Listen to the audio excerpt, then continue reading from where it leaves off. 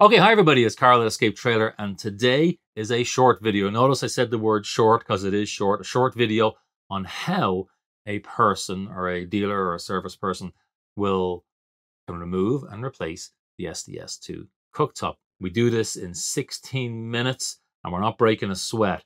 There's a stopwatch in the top left-hand corner and you can watch that stopwatch run as we work our way through. If you're taking your SDS cooktop into uh, an organization to have it replaced. And maybe they're not quite unsure about how long it's going to take, and they're telling you it's going to take an hour or two hours or three hours, or they're going to have to tear the kitchen apart or or whatever. Then you know we can help educate them. So help educate them by giving them the link to this video. Now, arguably, this is the most challenging escape to do it in because it, we do it in the Escape 17, which has the furnace located directly beneath the cooktop. I do imagine if you're doing it in any of our other trailers, it will be even faster. Let's roll the video with Dave. Okay, folks, I'm just going to do a quick video here to show you uh, what's involved with uh, changing out the Suburban cooktop. Um, I'm just strictly changing a Suburban with a Suburban. I'm not doing a Dometic. Um, but just to give you an idea uh, what's involved, even if you're going to take it to an RV repair facility, then you'll know uh, kind of what they're talking about and uh, you can make your choices from there. First thing I've done, we're in a customer's trailer here, so uh, first thing I've done is I've made sure that the propane is off. Now this is a 17B, so there's no real easy way to get underneath uh, these screws without taking off the, uh, the furnace cover. So that's what I'm gonna go ahead and do right now. So we just pop these caps here. And then behind those is a Robertson screw. So we'll just take that off like so. Top and bottom.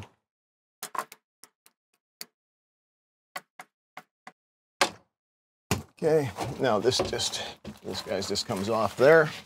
Okay, so now I can get my hands in there and I can kind of hold stuff. So from that point, we'll go to the top here. You'll open your cooktop and you'll have these little rubber caps in here. Take those off. Okay. Then underneath you'll see a Phillips screw. Out.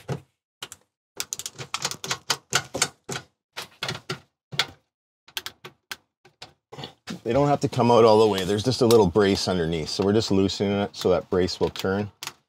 And you'll see it when I pull it out here. I'm just holding it with my hand.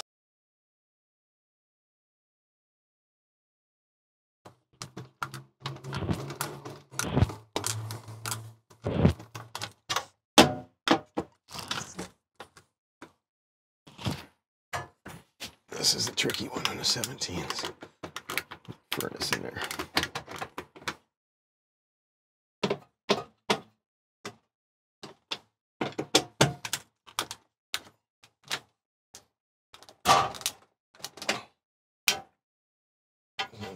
See if that should pop out.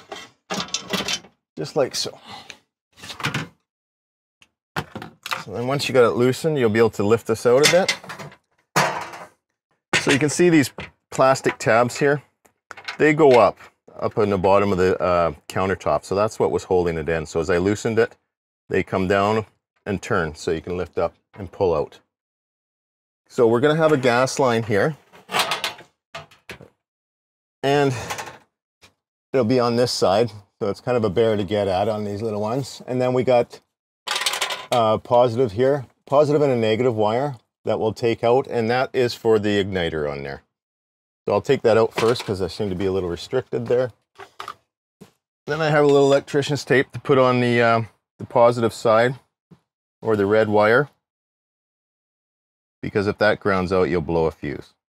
So if it doesn't spark once you get it all back hooked up, check your fuses. Get that ready to go. I'll bend this one back because it's garbage.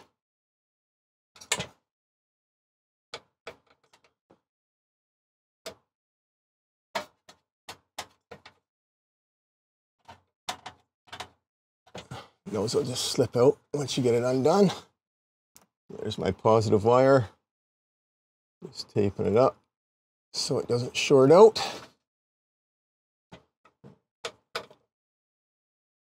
Then we can take the negative one out. Okay. Now that our 12 volt wires are off, now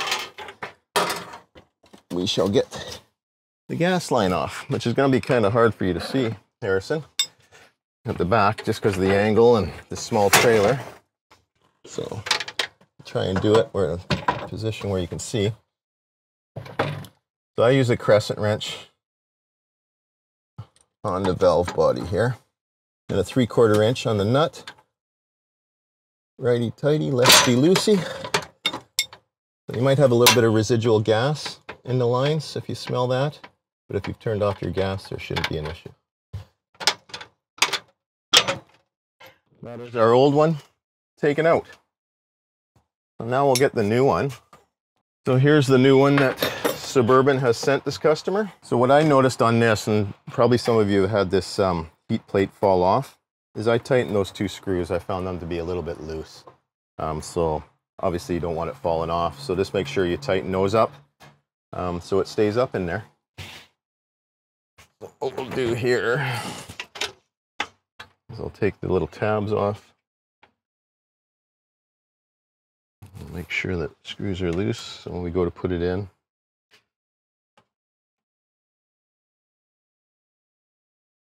Screwdriver. Make sure that we can move those around.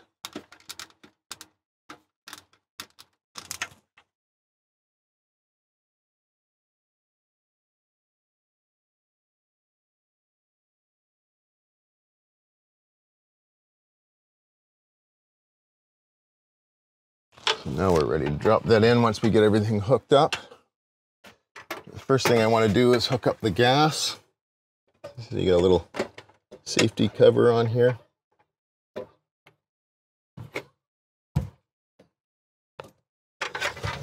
Roll it forward a bit.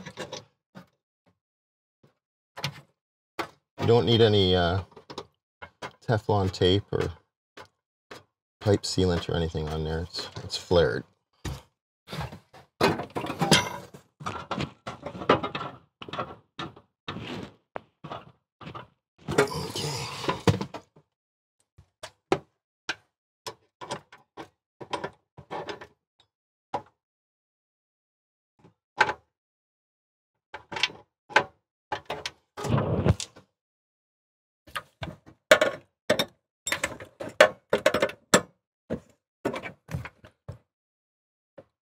It really good.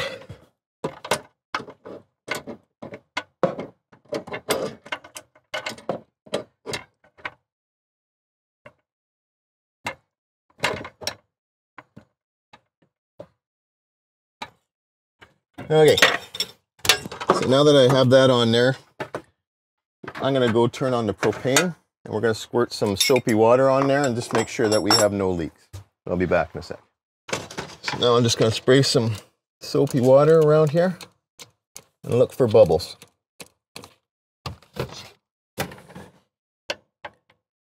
And there's no bubbles.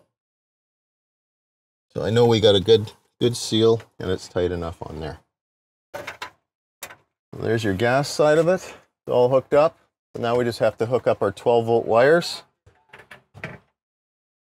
So we'll have ignition. So when they originally hooked this up, there was no furnace in there, so they can get their hands in there. We don't have that luxury.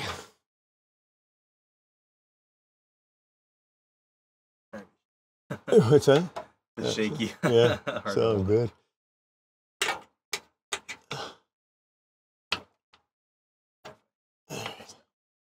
Maybe we can go this way a little bit.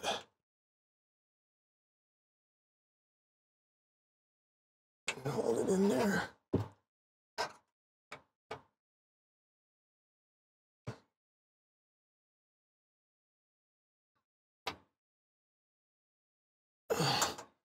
So there's our our positive. Negative.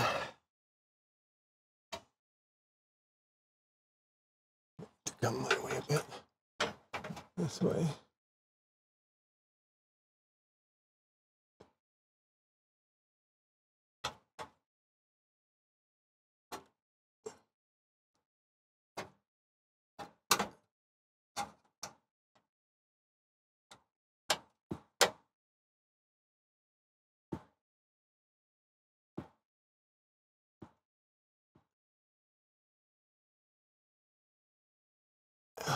A little tug.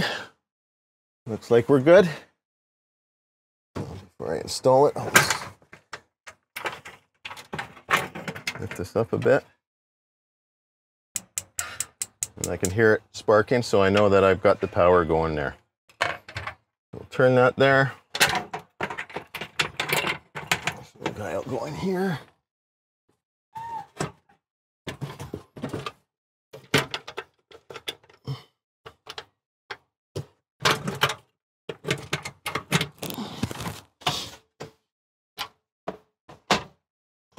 So I'm just lining up those little tabs, like I said, on all four corners. And then we'll screw this down and that brings those tabs up on the bottom of the countertop. So do this guy first.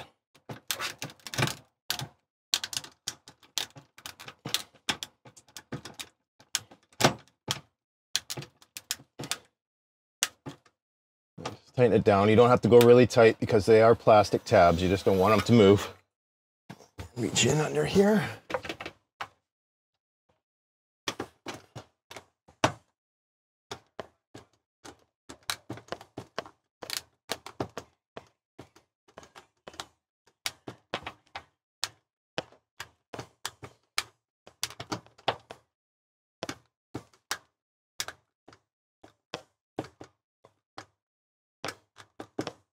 That one's backed out a long way.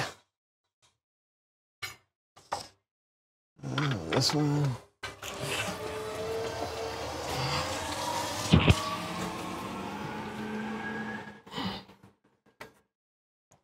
This one's up. This one's up there.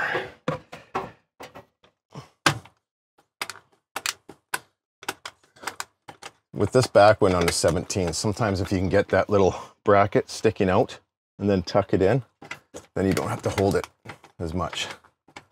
It's really hard to get your hand in on that one.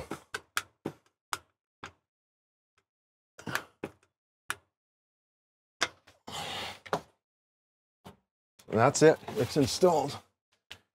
So, see what we got there. First time turn it on, you're gonna have air in the lines, like so. So now I don't have to shave my arms anymore.